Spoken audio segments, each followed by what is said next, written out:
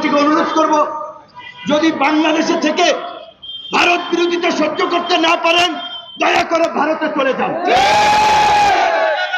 ক্ষমতায় থাকার জন্য আপনারা আওয়ামী লীগ, আওয়ামী লীগের মন্ত্রী, প্রশাসনের দালালরা, আজকে সামরিক বাহিনী, পুলিশ বাহিনী, ডিজিএফআই, এনএসআই, সমস্ত জায়গায় এরা দেশকে ভারতীয় করজ রাজ্য পরিণত করতে চায়, যেই কারণেই সাতই জানুয়ারি বেলায় হত্যা দিবসে জনগণের সঙ্গে প্রহসন করে এই দামি নির্বাচনের নাটক করেছে।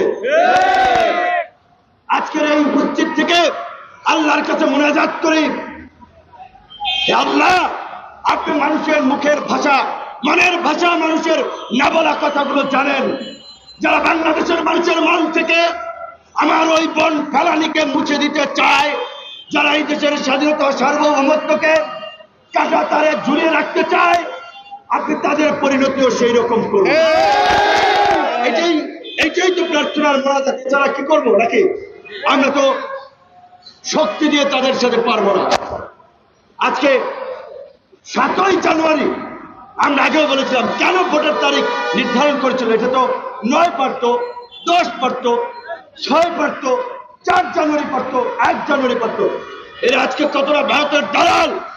এরা আজকে দেশদ্রোহী রাষ্ট্রদ্রোহীদের ভূমিকা অবতীর্ণ হয়েছে। কাজে আপনাদের প্রতি আমাদের আহ্বান থাকবে আমরা যে গণতান্ত্রিক লড়াই শুরু করেছি এই লড়াইকে অব্যাহত রাখতে হবে। জনগণের বিজয় অর্জন না হওয়া পর্যন্ত এই লড়াই চালিয়ে যেতে হবে। আপনারা প্রস্তুত আছেন?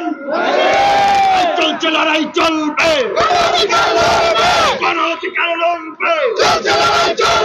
বাকশালীদের পতনে।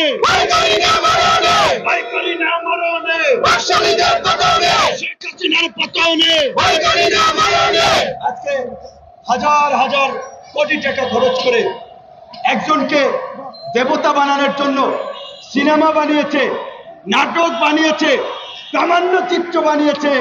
কিন্তু জনগণ কি বলছে? জনগণ এই যে শুনেছেন, এই সমাবেশ থেকে কিছুক্ষণ আগে কোন এক তরুণ বন্ধু স্লোগান দিয়েছে, মুজিব থেকে হাসিনা জাতিবাদ মানে না, বাকশাল মানে না। আজকে বাংলাদেশের গণতন্ত্রকে ধ্বংস করার জন্য একদলীয় নির্বাচনের মাধ্যমে আওয়ামী লীগ যে বাকশালের স্বপ্ন দেখছে, এদেশের জনগণকে নিয়ে আমরা সেই বাকশালের স্বপ্নকে দুঃস্বপ্নে পরিণত করব। আমাদের কিছু হারানোর নাই। হামলা, মামলা মাথা কোমর ভাঙা, রক্ত ঝরিয়েছি, জেল কেটেছি। প্রয়োজনে আরও রক্ত ঝরাবো, আরও জেলে যাব, কিন্তু প্রতিবাদের পতন না ঘটিয়ে আমাদের সংগ্রাম থামবে না। তাই আপনাদেরকে বলছি, সংগ্রাম নতুন করে এখন শুরু করতে হবে। এই নির্বাচন তেষট্টিটি রাজনৈতিক দল বর্জন করেছে। চোদ্দ সালে নির্বাচনের পরে আন্দোলন হয় নাই। এগারো সালে নির্বাচনের পরে আন্দোলন হয় নাই। বিএনপি সহ সমস্ত রাজনৈতিক দলকে আহ্বান জানাব।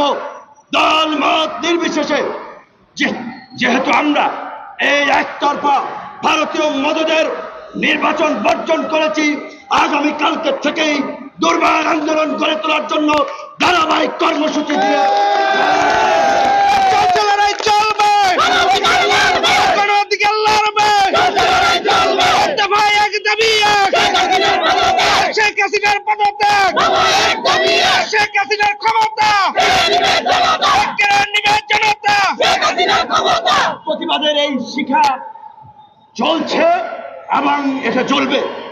বন্ধুগণ আন্দোলন সংগ্রামের অনেকগুলো ধাপ আছে অনেকগুলো পর্চা আছে। এইটুকু আমরা বলতে পারি আজকে যেভাবে বাংলাদেশের মানুষ আশি থেকে নব্বই ভাগ মানুষ এই নির্বাচন বর্জন করেছে আওয়ামী লীগকে প্রত্যাখ্যান করেছে যদি আমরা রাজপথে থাকি এই জনগণ আমাদের সাথে থেকে এই গণ অভ্যুত্থান ঘটাবে আমরা সেই গণ অভ্যুত্থানের লক্ষ্যে এগিয়ে যাব। আমাদের নির্যাতিত, নিপীড়িত ভাই বোনদের প্রতি আমাদের সমবেদনা এবং আমাদের তরুণ বন্ধুরা আরও বলেছে। আমরা অতীতেও বলেছি, এখনও বলছি, পাড়া মহল্লায় মজলুমরা একজন নির্যাতিত হলে তাদের পাশে সবাই দাঁড়াবেন। দল, মত মত পথ ভুলে ঐক্যবদ্ধ হয়ে ফাঁসিবাদের বিরুদ্ধে লড়াইকে বিজয়ী করার লক্ষ্যে লড়াইকে গতিশীল করার লক্ষ্যে আজকে থেকে নতুন পরিকল্পনা নিয়ে পথ চলা শুরু করুন। রাজপথে নামুন, জাতিবাদের পতন হবে ইনশাল্লাহ